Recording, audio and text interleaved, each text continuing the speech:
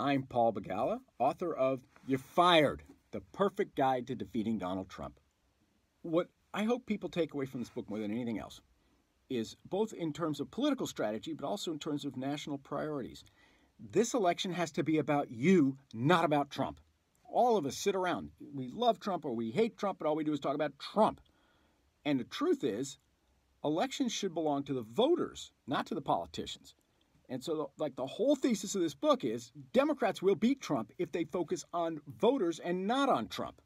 Don't be distracted by the, horrible character flaws of the giant orange fireball in Washington. Actually, focus on people's lives. Talk about their lives rather than Trump's.